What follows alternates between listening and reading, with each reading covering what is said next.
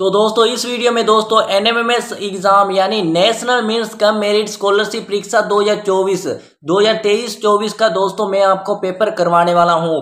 Met और set तो दोस्तों, ये क्वेश्चन 100 परसेंट आप आपके एग्ज़ाम में छपने वाले हैं। तो इसके लिए इस वीडियो को पूरा देखना और इस वीडियो को लाइक और चैनल को सब्सक्राइब कर लेना ताकि आप इस एग्ज़ाम को आसानी से पास कर पाएँ इसकी एक अच्छी तैयारी करके। तो चलिए दोस्तों, इस वीडियो को शुरू करते हैं। तो दोस्तों, मैं आपको बता दूँ कि इस वीडियो के अंदर मैं आपको साइंस के क्वेश्चन करवाने वाला हूँ। तो दोस्तों, अगर आपने हमारी पिछली वीडियोस नहीं देखी है, जिसके अंदर हमने काफ़ी क्वेश्चन किए हैं, ताकि दोस्तों, आपका एक भी क्वेश्चन इससे बाहर ना जाए, आप 100 परसेंट अपना एग्ज़ाम में देकर इस एग्ज़ाम को पास कर पाएँ। दोस्तों, अगर आप पिछली वीडियोस देखना चाहते हैं तो उसके लिए दोस्तों, आपको डिस्क्रिप्शन में फ़र्स्ट लिंक मिलेगा। उसके ऊपर क्लिक कर कर आप हमारी पिछली वीडियोस देख सकते हैं। तो चलिए, इस वीडियो को शुरू करते हैं। और दोस्तों, हमारा सेकेंड चैनल भी है, जिसका लिंक आपको डिस्क्रिप्शन में मिल जाएगा। उसे भी सब्सक्राइब ज़रूर करना, क्योंकि उस पर मैं आपको एनएमएमएस एग्ज़ाम के मॉडल पेपर करवाने वाला हूँ, ताकि आपका एकदम कॉन्सेप्ट क्लियर हो जाए। तो यहाँ पे हम देखते हैं क्वेश्चन नंबर एक, हमारे भोजन में ऊर्जा का प्रमुख स्रोत क्या है? इसका आंसर है ऑप्शन नंबर बी, कार्बोहाइड्रेट। अगर आपसे पूछे कि सर्वाधिक ऊर्जा किससे मिलती है तो सर्वाधिक ऊर्जा दोस्तों बसा से मिलती है। और दोस्तों, अगर सबसे जल्दी ऊर्जा की मिलती है प्रमुख स्रोत की बात करें तो कार्बोहाइड्रेट है। आगे हम बात करते हैं क्वेश्चन नंबर दो, कार्बोहाइड्रेट बनते हैं। कार्बन हाइड्रोजन एवं ऑक्सीजन से, हाइड्रोजन, नाइट्रोजन एवं ऑक्सीजन से ऑक्सीजन कार्बन एवं नाइट्रोजन से, या फिर नाइट्रोजन हाइड्रोजन एवं सल्फ़र से। तो दोस्तों क्वेश्चन नंबर दो का आंसर है option number A carbon hydrogen एवं ऑक्सीजन से बनते हैं। तो चलिए दोस्तों, आगे हम देखते हैं क्वेश्चन नंबर तीन। क्वेश्चन नंबर तीन कार्बोहाइड्रेट्स की कमी को पूरा करने के लिए क्या खाना चाहिए? क्या खाना चाहिए? चावल खाने चाहिए, गाजर, चना या मांस? तो दोस्तों, इसका आंसर है ऑप्शन नंबर ए, चावल। क्वेश्चन नंबर चार एमिनो अमल के बहुलक क्या है? कार्बोहाइड्रेट बसा विटामिन या प्रोटीन तो दोस्तों, इसका आंसर है ऑप्शन नंबर डी प्रोटीन तो चलिए दोस्तों, आगे हम देखते हैं क्वेश्चन नंबर पाँच। तो दोस्तों, अगर आपका एग्ज़ाम पाँच नवंबर को है तो हंड्रेड परसेंट एग्ज़ाम में ये क्वेश्चन देखने को मिलेंगे।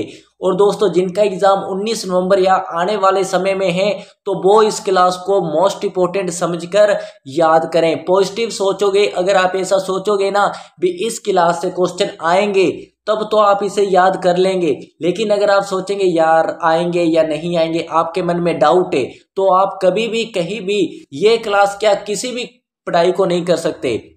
अगर हम फॉर एग्ज़ाम्पल दूँ तो आपने अपने कभी भी क्लास में या पढ़ाई करते होंगे, किसी भी सब्जेक्ट को सामाजिक विज्ञान, गणित या मैथ को, अगर आपने गणित गणित को ऐसे सोच लिया ना, भी यार, नहीं होगा मुझसे, आप कितनी भी कोशिश कर लेना, आप उसे समझ ही नहीं पाएँगे, कर ही नहीं पाएँगे। लेकिन जब आपने कह दिया ना, ये आसान है, ये मैं कर सकता हूँ तो आपके अंदर एक मोटिवेशन मिलेगा, आप उसे कर लेंगे, आप उस सब्जेक्ट से बोर नहीं होंगे। अगर आपको इसके ऊपर ट्रिक्स एंड टिप्स के ऊपर अलग से वीडियो चाहिए तो आप कमेंट में करें।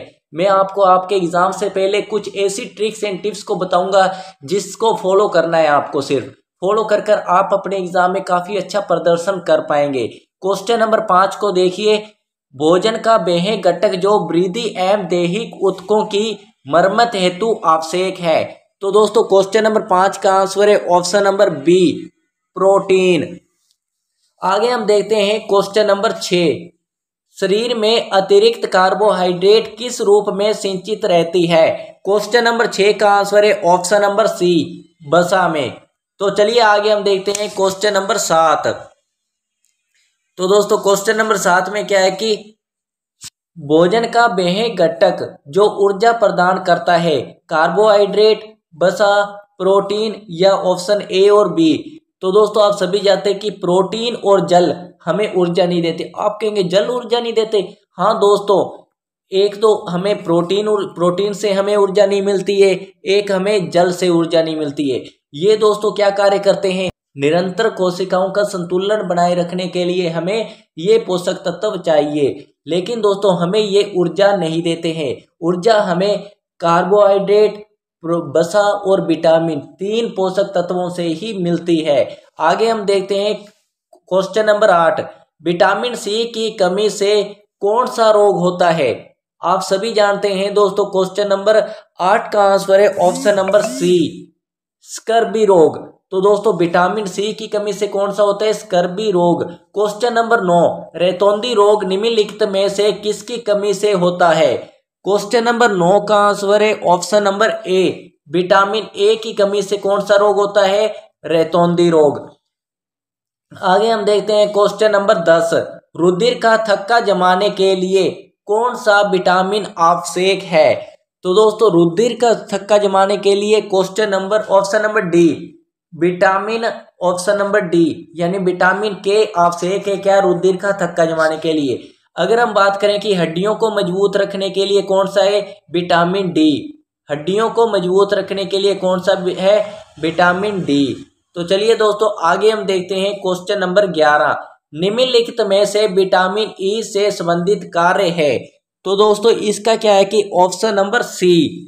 तो दोस्तों, ऑप्शन नंबर सी यानी प्रजनन अंगों के सामान्य कार्य हेतु तो आवश्यक है। कौन सा? Vitamin E. तो चलिए दोस्तों, आगे हम देखते हैं क्वेश्चन नंबर बारह। जल में घुलनशील विटामिन कौन सा है? जल में घुलनशील विटामिन है option number C vitamin B और सी जल में घुलनशील विटामिन है ऑप्शन नंबर सी तो दोस्तों, इससे रिलेटेड एक और क्वेश्चन आपसे पूछा जाता है। आपसे क्या पूछा जाता है कि एक तो आपसे पूछा जाता है बसा में। बसा में घुलनशील। एक आपसे पूछा जाता है जल में घुलनशील। ये दो क्वेश्चन वेरी इंपॉर्टेंट क्वेश्चन है जो आपसे पूछे जाते हैं। तो दोस्तों, बसा में जल में घुलनशील विटामिन है विटामिन बी और सी सॉरी दोस्तों विटामिन बी और सी और दोस्तों, बसा में घुलनशील विटामिन है vitamin A vitamin D vitamin E vitamin K तो दोस्तों, बसा में घुलनशील विटामिन कितने हैं? चार। कौन कौन से हैं? Vitamin A vitamin D vitamin E vitamin K और जल में घुलनशील विटामिन कितने हैं? दो। विटामिन बी और विटामिन सी इस बात को आप याद रखिए। आगे हम बात करते हैं क्वेश्चन नंबर तेरह। खरीफ की फ़सल उगाई जाती है। सर्दियों में, बरसात में, गर्मियों में या ऑप्शन नंबर ए और बी दोनों में? क्या है दोस्तों? इसका आंसर है ऑप्शन नंबर बी बरसात में। खरीफ की फ़सल बरसात में उगाई जाती है। बरसात होते हुए नहीं उगाई जाती है, बरसात ऋतु, यानी वर्षा ऋतु में उगाई जाती है। क्वेश्चन नंबर चार, यहाँ पे क्या है कि निम्न में से खरीफ की फ़सल कौन सी है? मूंगफली, गेहूँ, मटर, सरसों। आपको बताना है खरीफ की फ़सल कौन सी है। तो दोस्तों, क्वेश्चन नंबर चौदह का आंसर है ऑप्शन नंबर ए, मूंगफली।